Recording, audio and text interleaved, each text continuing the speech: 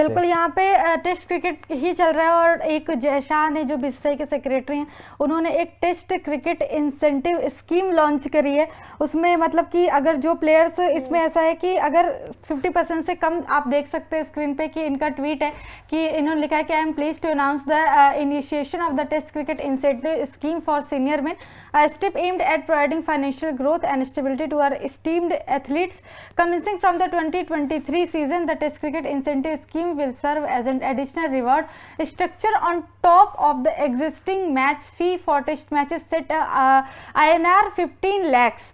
मतलब यहाँ पे टेस्ट क्रिकेट के लिए अलग से मतलब कि फ़ीस मिलेगी इंसेंटिव मिल जाएगा। हाँ। जो प्लेयर्स आपके यहाँ पे खेल रहे हैं टेस्ट क्रिकेट उनको अलग से इंसेंटिव दिया जाएगा। मतलब जो कि मैच फ़ी तो होगी लेकिन उसके एक्सेप्ट यहाँ पे और ज़्यादा जो है ऊपर पैसे आपको जो है यहाँ पे मिले जाएँगे। जैसे कि जो भी खिलाड़ी पचास परसेंट से कम मैचेस खेल रहे हैं तो यानी अगर इज्यूम कर लो कि कम से कम चार से भी कम मैचेस अगर खेल रहा है तो उस पर जो है यहाँ पे एप्लीकेबल नहीं होगा। हम्म, लेकिन अगर कोई पचास परसेंट ज़्यादा खेल रहा है यानी पाँच और छह मैचेस टेस्ट मैचेस में खेल रहा है तो उसको 30 लाख कम से कम मिलेगा एक मैच का अपनी सैलरी के एक्सेप्ट और अगर वो प्लेइंग इलेवन में नहीं है तो उसे 15 लाख मिलेगा एक मैच का।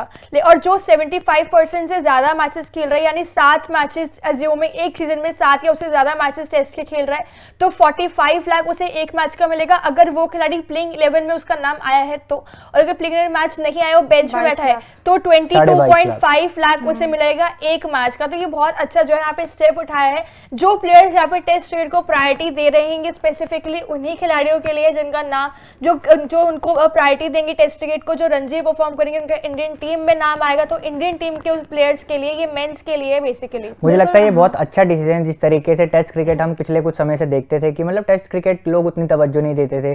देखने में लोगों को मज़ा नहीं आता था लेकिन अब जिस तरीके से टेस्ट क्रिकेट को मतलब वैल्यू किया जा रहा है बीसीसीआई में बार बार जैशा ने भी आके बोला बीसीसीआई ऑफिशियल हैंडल से ट्वीट करके बताती है हम्म। कि अब आपको जो है रणजी खेलना पड़ेगा। अगर आपको टेस्ट में मतलब इंडियन टीम में जगह बनानी है आपको टेस्ट खेलना कितना इंपॉर्टेंट हो गया क्योंकि टेस्ट क्रिकेट ही जो है सबसे हार्डेस्ट जो बोलते हैं फॉर्मेट होता है क्रिकेट का।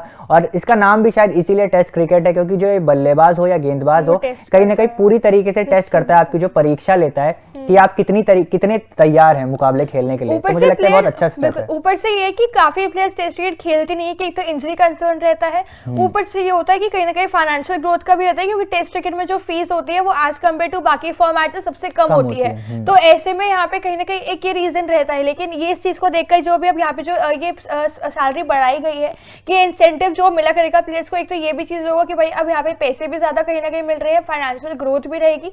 और ऊपर से प्लेयर्स ऑलरेडी अब जो रिसेंट प्लेयर्स आ रहे हैं हम देखेंगे तो नए नए प्लेयर्स रणजी परफॉर्म काफ़ी ज़्यादा अच्छा कर रहे हैं। हम्म। और इंडियन टीम में उनको मौका मिलेगा अगर तो ऑब्वियसली एक रिवॉर्ड वो भी डिजर्व करते कि इंडियन टीम में उनकी मौका मिलना is not a small thing इतने सारे जो प्लेयर्स अपना यहाँ लाइन में लगे हुए हैं लेकिन कुछ ही खिलाड़ी को अगर मौका मिल रहा है यानी कुछ ना कुछ उनमें बात है। तो और वो परफॉर्म अगर कर भी रहे हैं तो उनको ये चीज़ जो ये मिलना आगे से बहुत अच्छा स्टेप यहाँ पे जयशाह ने उठाया है। बिल्कुल विषय द्वारा बहुत अच्छा इनिशिएटिव है टेस्ट क्रिकेट के लिए प्रमोट कर रहे हैं टेस्ट क्रिकेट कैसा हम बोल सकते हैं? क्योंकि हमने रिसेंट में ही देखा है कि टेस्ट क्रिकेट की वजह से कितना बवाल मचा है बीसीसीआई के बीच में कुछ खिलाड़ियों के बीच में। और इसी कहीं ना कहीं यही रीजन है कि रणजी खेलने के लिए इतना ज़्यादा प्रेशर डाला जा रहा है प्लेयर्स पे कि भाई आप रणजी खेलो क्योंकि एट द लास्ट सबसे हार्ड अगर कोई फॉर्मेट है तो टेस्ट ही है वो। तो टेस्ट आपको खेलना ही है क्योंकि ऐसा तो है नहीं कि टेस्ट का कोई वैल्यू नहीं डब्ल्यू का फाइनल आप टेस्ट खेल खेल कर ही वहाँ पहुँचते हो। वो भी एक आईसीसी का टूर्नामेंट ही है। तो कहीं ना कहीं इसी वजह से रणजी पे भी इतना ज़्यादा वो फोर्स किया जाता है कि भाई आप रणजी खेलो उसके बाद से फिर आप टेस्ट खेलो क्योंकि बहुत सारे प्लेयर्स ऐसे हैं जो टेस्ट नहीं खेलना चाहते हैं।